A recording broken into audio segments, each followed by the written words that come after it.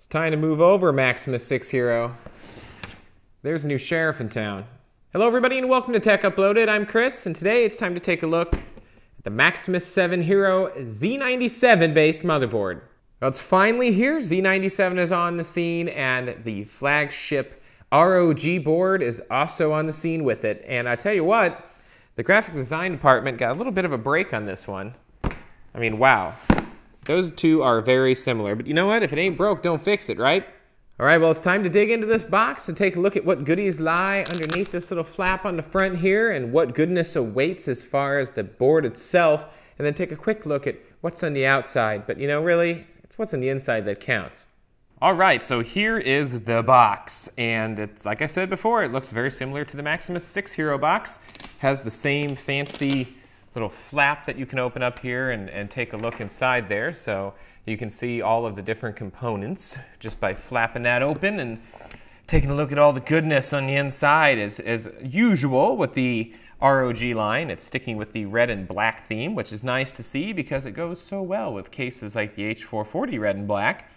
Here's the back. That lip has a lot of details as well, but not going to just read through the box. I'm going to go over these as we're actually looking at the board because I think that's what everybody really wants to see. Get our hands on it, start messing around. So let's crack open the box and see what kind of little accessories and things come inside here. All right, popping up the lid. All that comes out. You can kind of see the all the little graphics over there. And then you got your nice little protective cover. So remove that, set that off to the side. And there it is, loud and proud the motherboard itself. Look at that. Oh, it's got that smell. I gotta sniff it. Oh, smells like brand new electronics. I love that smell. So there it is, uh, just really sharp looking board. I mean, you, I just, I love the look of these boards. I, I can't help it. These just, these do it for me in the looks department. So let's grab this and just pull out the entire motherboard for now. Set it off the camera. And then take a look at everything you get in the box itself. So you get the nice Q connectors. These are, these are a huge plus for me. I really like that they include these things. They make installing all of your little motherboard headers so much easier. And then one, two, three SATA 6 cables. So that's nice that you get those. Let me see here. Nope, actually, I'm wrong. Six cables. Look at that. Two, four, six. Gotta do my math. So you've got, let's see. Looks like they give you one of each. So you got three straight connector and three right angle connector in there. So you can kind of see by looking at them there. Uh, some of them have that right angle and some of them are straight. Nice depending on what you're installing and where. Again, the nice back plate that I really enjoy that uh, ASUS uses, it doesn't have the little pins sticking out on it. It's just flat, which makes installing into the case a lot easier. I really enjoy that. And then it does have this really nice, I'm trying to actually get a good look at it here. It's, it's not black, but it's like a, like a graphite, reflective graphite color to it. I don't know, that there's a lot of glare from the lights, but that's that's nice looking. I really like the, the look of that. So continuing on with that tradition, and then of course you get your SLI cable. So if you're doing AMD Crossfire, then you don't have to worry about running a cable, but for the SLI folks in the NVIDIA camp, you do.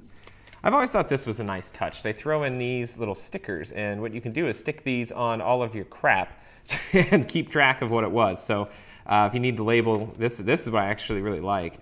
SATA 1, you know, for hard drive 1, and then, you know, your other device, you know, maybe the second hard drive or whatever, but it's just nice to keep track of things. It's, it's a nice little touch. They've included this once again, the do not disturb, and then enter. So the Republic of Gamers little door tag there is on the scene. And then finally, look at this nice little book. And I guarantee you, if I do this, there's my driver disk. And then your little case badge is inside of there as well, so they've included that once again. And then, of course, the very handy manual. There's so many features in here, you might actually need to give this a read. So with that out of the way, let me throw everything back in the box. Let's break down the board and actually take a close look, or a closer look, at what you get.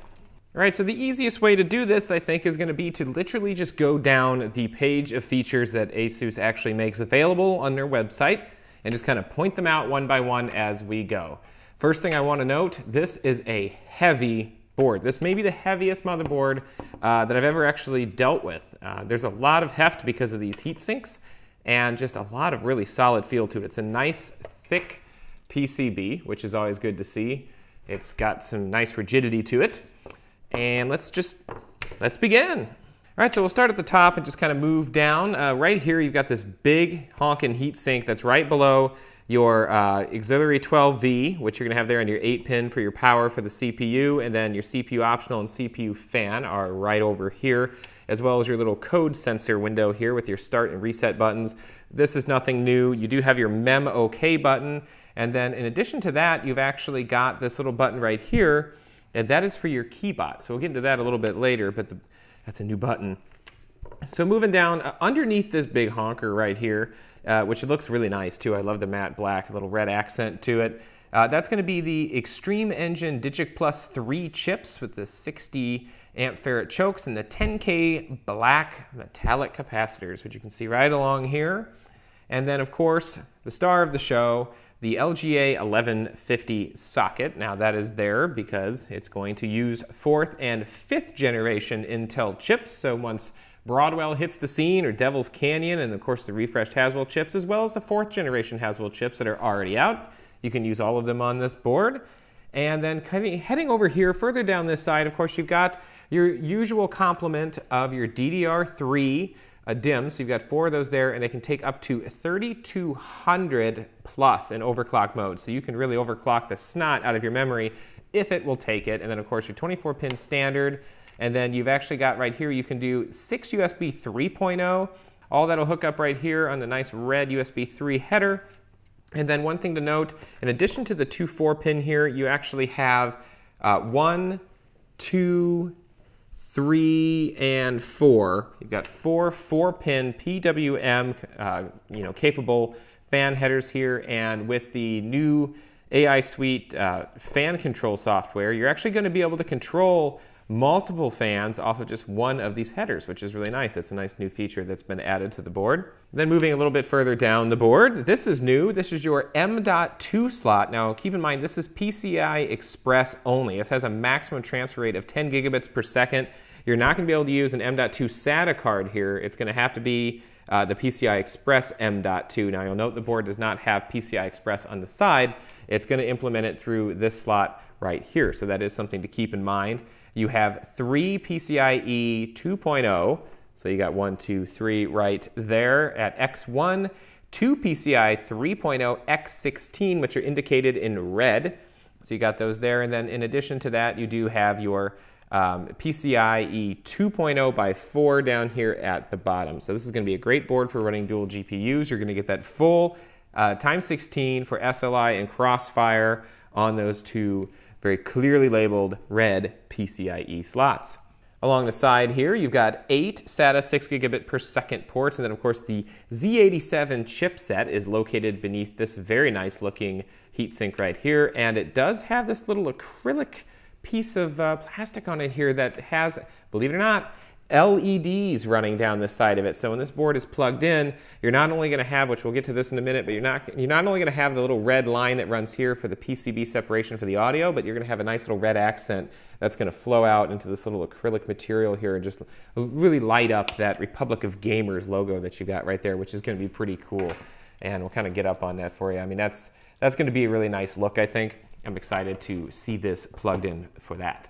Getting a little more in depth on the bottom here, you of course got your usual uh, clear CMOS, which is very nice to have in case something shall go awry.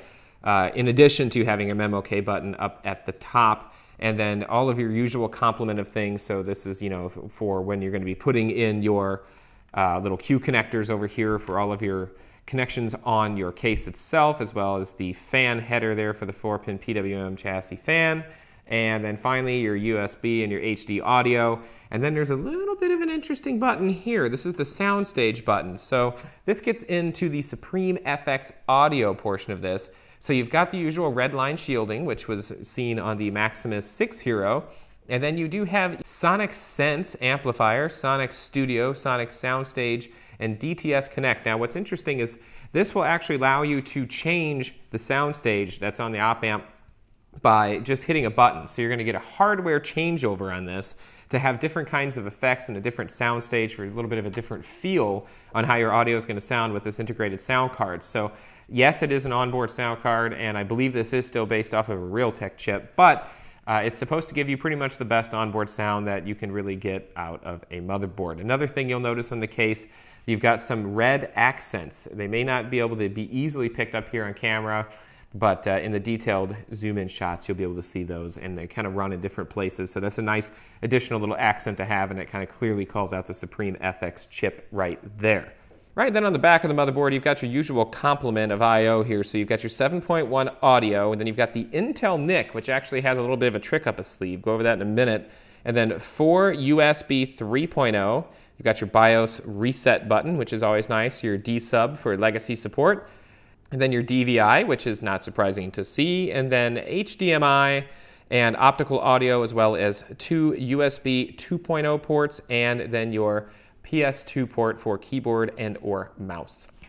All right, so what's interesting about the LAN on this board is it actually uses a technology that they're calling the Intel Ethernet LAN Guard Game First 3. So they call it game networking taken to the next level. So basically what this is going to do is it's going to introduce packet favoring for transferring data for your games. And it's going to offer up to two times faster performance when you're in that mode. And the really cool thing is it has something called LAN Guard, and they're calling it RJ45 reinvented. So what it is, it actually uses electrostatic discharge guards, so you're not going to suffer a catastrophic failure if you have a surge or a brownout or some kind of power fluctuation running into that network. And it's going to supply a nice clean connection, which is one of the main reasons why I really like Intel NICs to begin with. All right, now one of the other things you're going to get with the Supreme FX audio on this one, I kind of mentioned this on the soundstage, but it, they're calling it Sonic Studio.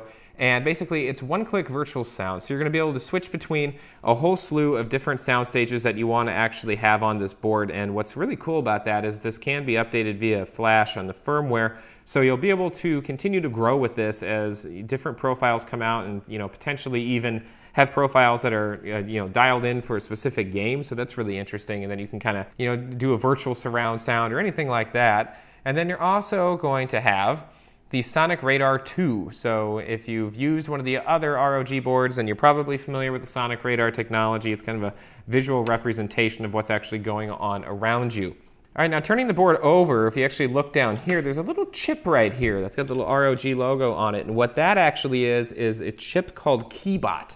And what KeyBot is going to do is it's going to allow you to really expand the functionality of your keyboard. So you're going to be able to set macro keys and all kinds of different combinations. One of the really great things you'll be able to do is assign function keys to things via the software, which is great for people like myself that have mechanical keyboards that are no frills and they just have the things that you need on them. You'll be able to actually set volume keys and you know maybe a key for email or something like that. And you can pretty much assign a shortcut key to anything you want. And the other cool thing, they're calling this S5 mode. So what you can do is assign actual keys on the keyboard to wake up the computer into a specific state. So like for example, F11 will do CPU level up to automatically overclock. F12 will take you uh, disable or enable XMP, and delete will actually take you directly into the Uf UEFI BIOS, which is really great. So you don't have to keep spamming the delete key. You can just hit it one time and your computer is going to boot right into the BIOS, which is going to be really nice. So you can get into that nice graphical interface of that UEFI BIOS to do all of your tweaking. Now what's really cool is this board's actually going to utilize something called TrueVolt USB and it's going to give you a stable supply of 5 volt power front and back on your USB ports. Now you're wondering, okay, big deal, why is this so nice? Well, if you're someone like me and I use a D1 audio engine DAC and when the computer boots up or wakes up from sleep, it makes a really loud pop in my speakers if I don't remember to turn off the D1 so that it's not getting that initial bump of power. So I'm actually pretty excited about that. It's a really small feature, but something that's to really benefit me. Now, apparently the UEFI BIOS is supposed to be greatly improved on this board. I will have to take a look at that after I do a build with this and kind of give you a tour of that, but it's going to give you a lot of features that are going to be graphical now. You're going to be able to see your fan curves. You're going to be able to set your XMP profiles. You're going to be able to set your overclocks. Nothing that's really out of the ordinary from what we had before, but there's going to be a lot of really new, great new features that are in here, especially the automatic overclocking. You're going to be able to tell it what kind of CPU cooler you're using, and it's going to kind of decide how high it's going to let the voltage go based on that. Of course, you do have your usual things that you had before, so your RAM disk is back, so you're able to actually dynamically set your RAM, and you can have 20 times faster speed than even an SSD. So, you know, you might want to set various things to your RAM disk to speed up boot times or, you know, do various things with, you know, with games or maybe in a piece of software. So that's really nice. AI, AI Suite 3 is going to be included. Uh, CPU-Z is going to be included. The MemTweakIt's going to be there for, you know, kind of changing your timings and gauge how your memory is doing. Uh, and then, of course, uh, the USB UEFI BIOS flashback is still there by you know using that button and then you just get a lot of other little stuff that comes with it as well. Uh, you get the option to install the ROG accessories, which you'll plug in down in the ROG accessory port at the bottom of the board. So you can add various things like the OC panel. They're really cool, actually, if you have a case that can support it, which the H440 definitely does not. But you can have the front panel, the front base, that's going to give you a graphical representation of everything that you can actually do with the board itself. Uh, so you can tweak and change things using that without having to even go into the BIOS. So this board's going to be going into a build using an NZXT red and black H440 case, which will go very nice with the look of the board. And hopefully it's going to be around with me for a while so we can kind of go down this CPU journey that's going to be the Z97 chipset. Starting off using a 4770K, moving to Devil's Canyon when that comes out, and then testing this board out with Broadwell as soon as that hits the scene in the fall. So with any luck, this board will see quite a few different CPUs come and go through its 1150 socket. Thanks for watching as always, and if you found this video helpful, please go ahead and click on that subscribe button. That would help me out quite a bit. And you can also follow me on Twitter over at Tech Uploaded. So go ahead and follow the little Twitter bird over there. And you know what? Don't be a stranger. Check back soon. Lots of good times coming with this Maximus 7 Hero.